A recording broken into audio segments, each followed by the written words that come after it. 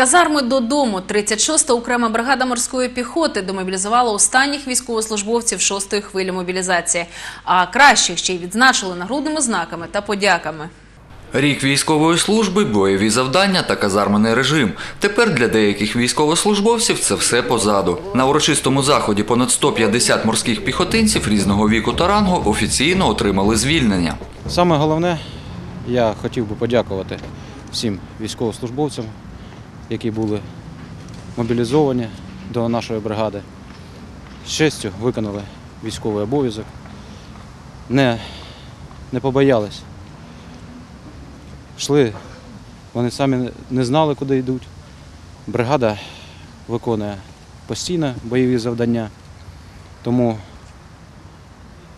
ми дуже їм дякуємо за це.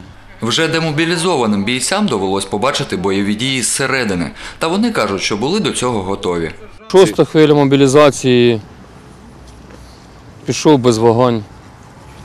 Е, е, В учебці був у, Полтаві з зв'язківцем. Я із сорочку теж зв'язківцем був.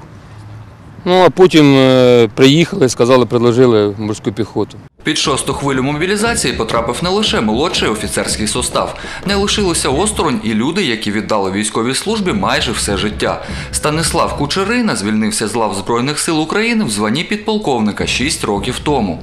Коли надійшла повістка, необхідно було прийти в воєнкомат, тобто я не став там шукати причин для того, щоб залишитися. Я, як то кажуть, почав шукати причини, щоб попасти в цю армію. Так, тому тут неможливо матрос, молодший офіцер, старший офіцер.